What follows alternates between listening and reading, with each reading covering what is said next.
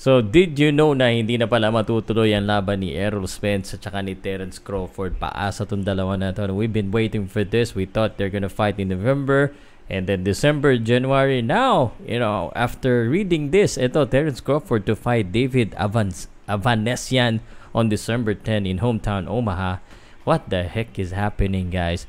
Alam mo, uh, itong mga ganito mga klaseng mga laban dapat ang nangyayari and it's not happening and uh, it's it's ruining uh, the fans. Powcast Sports. If you're new here, don't forget to subscribe and hit the notification bell.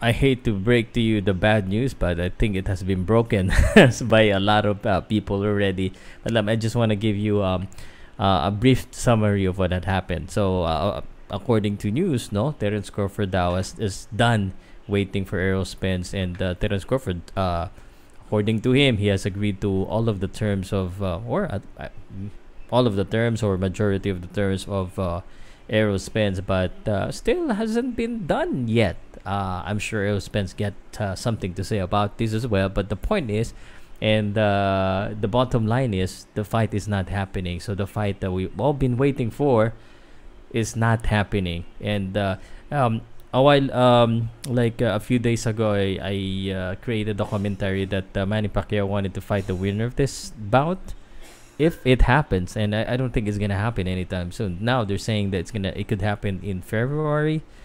Uh if they can ha- make it happen uh, this month how are we certain that it's gonna happen in February? Now uh itong si Kit uh, si uh, Errol Spence might fight Keith Thurman daw. Keith Thurman is the uh, potential opponent now of Errol Spence. Uh, again, Shawn Porter is also there, uh, and uh, but you know it's not happening.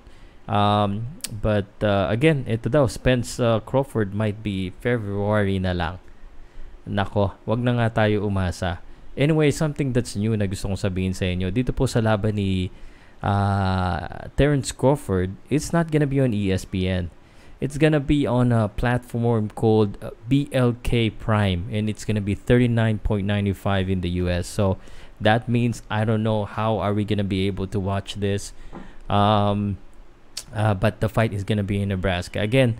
Um, the opponent is good, but it's it's not really the kind of opponent that uh, we want to see Terence Crawford fight with. I think Terence Crawford's gonna get you know gonna get the W.